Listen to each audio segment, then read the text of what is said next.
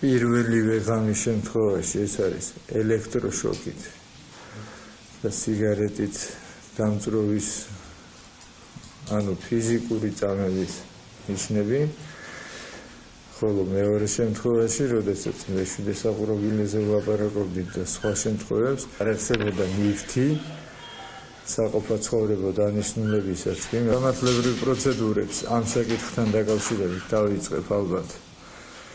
მას შემდეგ რაც ბატონი კულულაშვილი აღარ იქნება მარცხაჯულების სისტემის სათავეში. ახილული იქნება ეს ფაქტები და შესაბამისი რეაგირების თაობაზე რეკომენდაციით მიმართავთ ჩვენ შესაბამის უწყებებს, რომ არ დარჩეს ეს საქმე და ეს ფაქტები წამების და კონვენციის სხვა მუხლები დაცული უფლების დარღვევისა რეაგირების გარეშე.